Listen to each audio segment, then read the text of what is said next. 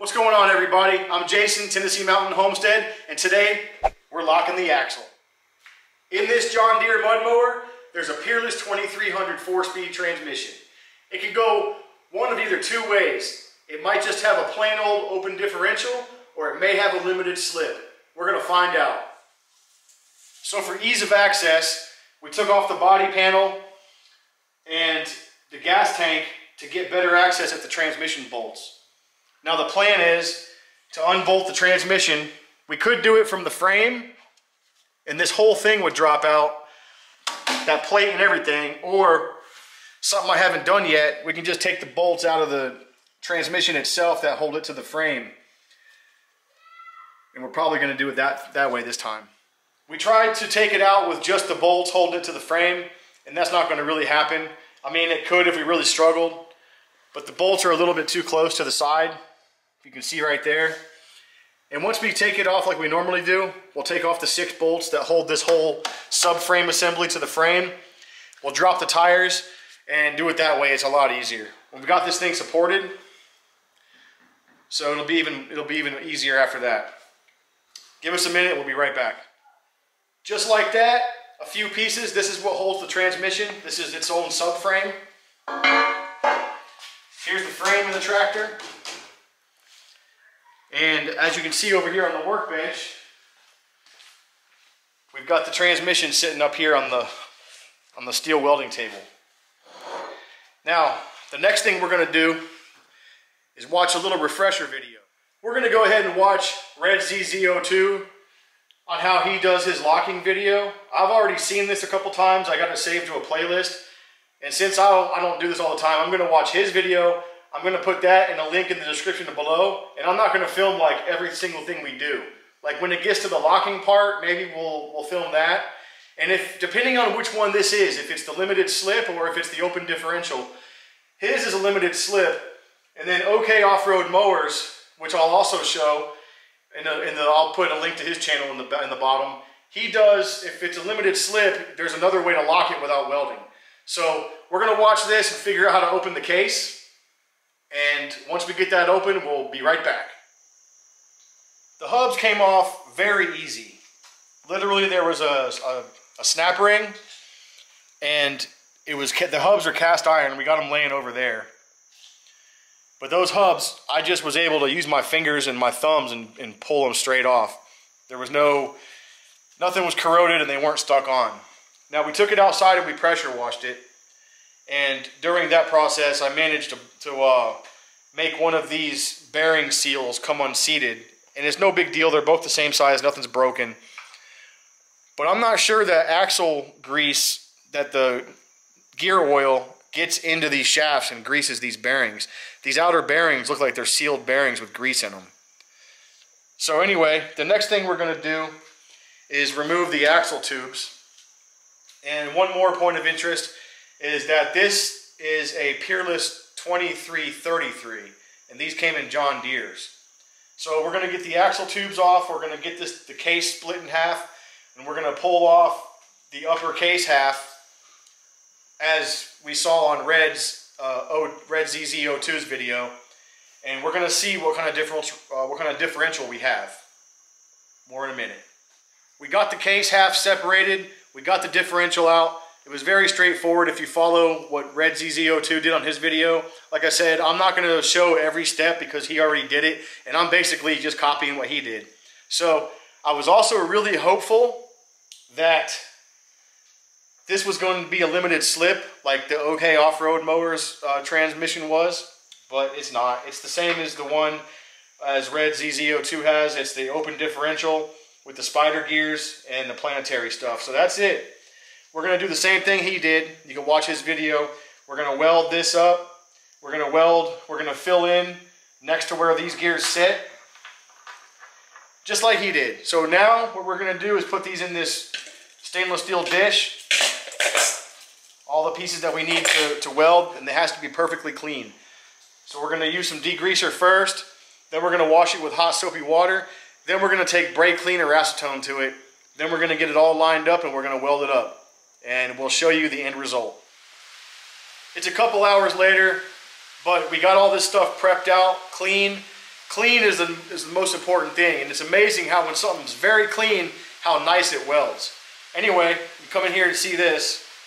This is the locker. We got our welds all the way around. Nice. I burned it in pretty hot. So here's the locker.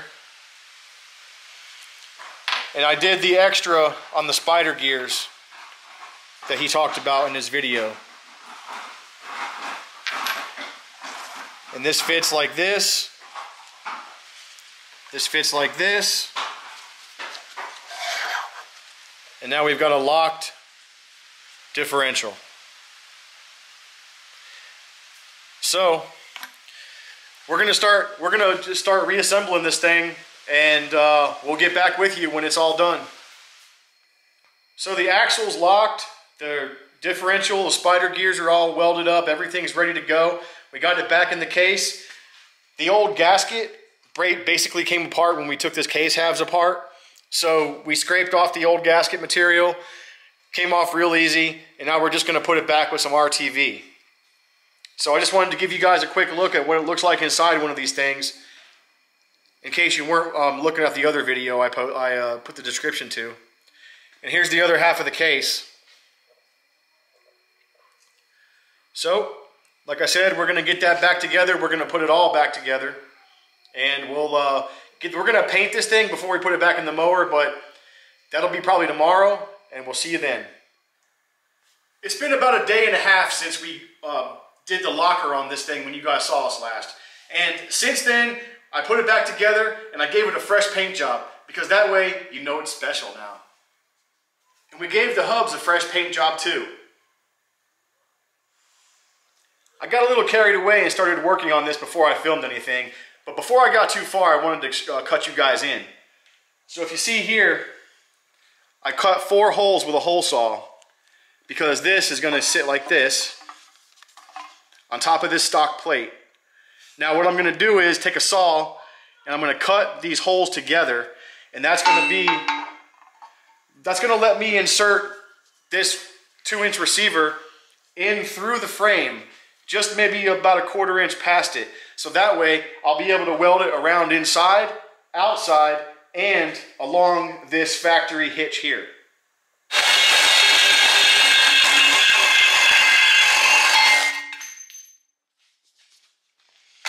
Just like that,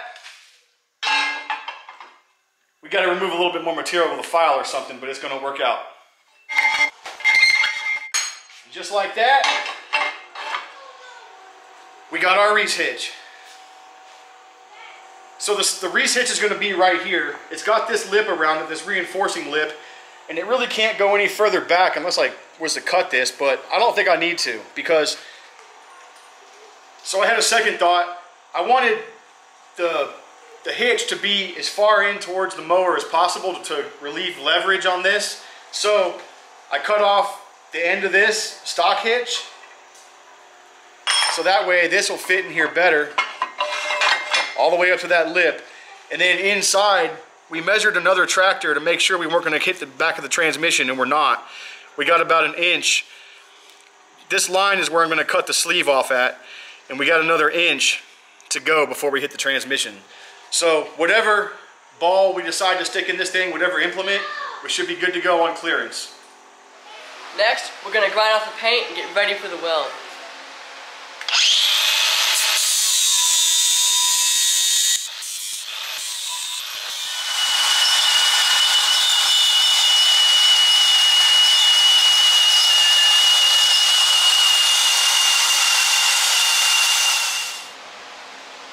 Before we go welding the Reese hitch in, I also wanted to clean up the way this thing looks by taking the, the square, the squareness off the back. So we gave it these nice angle cuts, give it a little more ground clearance. You'll be able to see the painted paint job on that pumpkin. And also I think it's going to replace, uh, you know, counterbalance the weight that we're adding to this thing by taking some out, back out. The Judy chop. So this here is the weight that we cut off of the back of it, and this is what we're gonna add back to it. And honestly, it feels about equal. We got it all cleaned up and we're ready to burn it in. Go ahead and check it out. This is going to be what it is. Come around on this side, you can see how in the back it protrudes through. We're going to get it in there nice and clean like right there. Nice and clean like.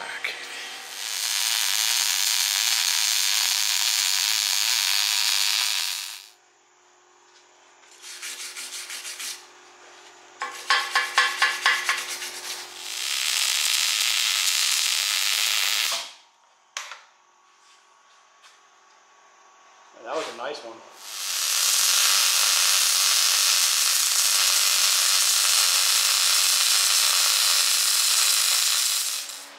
So we got it all burned in. I must say, I did do a couple passes on the sides, and um, it turned out to be a pretty fat weld.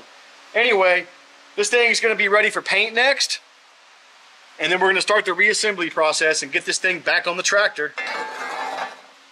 Look in here. Got the back side too.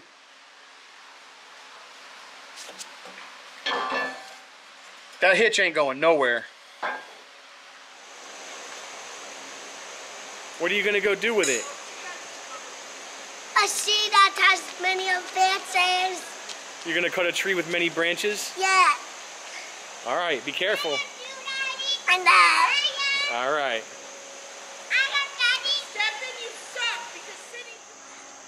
So we're out here in the paint booth, covering up all the little imperfections. And remember guys, a little bit of flat black makes it all go away. All right guys, so it's the next day. We've got these things all painted, put back together, hubs, we got the pulley, the brake. I got a ball hitch in here to demonstrate the way that this uh, receiver hitch was, was put in. So the next thing we're gonna do is get this bolted back into this and bolted back into that, and we'll see in a minute. Oh man, this little transmission is looking like a hog's leg. It's looking, sitting here looking so tough, I just wanna spank it. So it's been many hours later since we talked last, and uh, since the last clip. And what you can see here is we've got the transmission in. I had the shifter lever on backwards. It was 180 degrees out, so I had to take that off and re-RTV it back in the right position. Then I got in and I re-engineered my whole clutch spring. So I went to Tractor Supply and got a new spring, a more stout one. We had to move the oil pump. We had to rotate it, I mean the fuel pump, a little bit. And here we are. So we just got done putting gear oil in the transmission. We're gonna close the transmission up, put the fuel tank back on, put the body back on, and take her for a rib. See you soon. It's been another day putting this thing back together. And last time I talked to you guys, I mentioned that we put a new clutch uh, spring in the back of the tractor there. Well, here's my issue, is that ever since I put this thing together and started it up the first time, the clutch pedal, when it's engaged, when the belt's under tension, the clutch pedal sits there and it shudders a little bit, it vibrates quite a bit in some cases. And I tried to solve, I tried to fix that issue with adding more and more powerful springs and even a spring on the outside of the frame pulling on the clutch pedal itself, thinking that enough spring tension will overcome that shutter effect. Well, I added a spring yesterday and with the two combined, it was a little bit too much. I didn't even start it up and try it because I was worried that the belt was now under so much pressure that it's gonna, you know, ruin the life of the transmission pulley and the engine pulley probably. There's bearings in there and I didn't want to compromise those bearings with so much pressure and all the idler pulleys. So I came up with this idea. This is the clutch, this is the clutch pedal right here. I came up with this mechanism here. Now this is the clutch pedal and it, it bolts to this extension on the clutch. And when you depress it, it releases tension on the belt. Now what I did here was I, I fabricated this, this stopper mechanism. So that I could have this spring pulling back on the clutch pedal, but not adding any more resistance or any more pressure to the belt system itself. This should just hold the clutch pedal from shuddering while, the, while it's engaged. Should be nice and stiff. And then, like I said, the only spring adding any tension to the system is the main spring inside that we added yesterday. A nice fresh new spring. And it seems to have about the right amount of tension. This, without the stopper, just added like another 30 pounds of force into the system. So if you can kind of wrap your mind around that, it took me like five days to think to think of this. That's how smart I am, you know. So that's where we're at. And with that, we're gonna get this thing put back together and now try to take it for a test rip. We finally got this thing out. We're gonna take it for a few little test rips to showcase the locker. And uh, without further ado, I'm gonna run over a few things around here and I'll be back in a minute.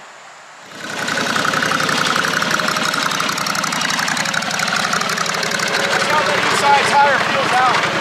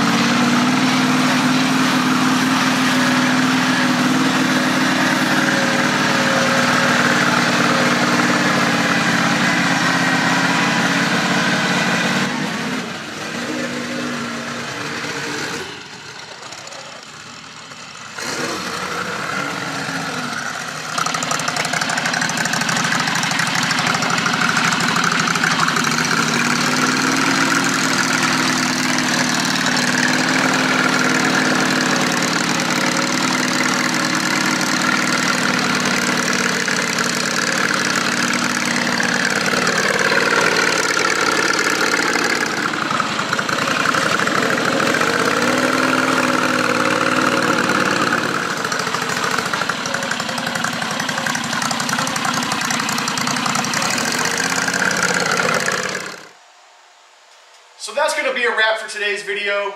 Well, the last five days video. Anyway, guys, we made a lot of progress. We're going to do more. We got more stuff coming. Stay tuned. Like and subscribe. Please comment. And as usual, I'm Jason, Tennessee Mountain Homestead, and we'll see you on the next one.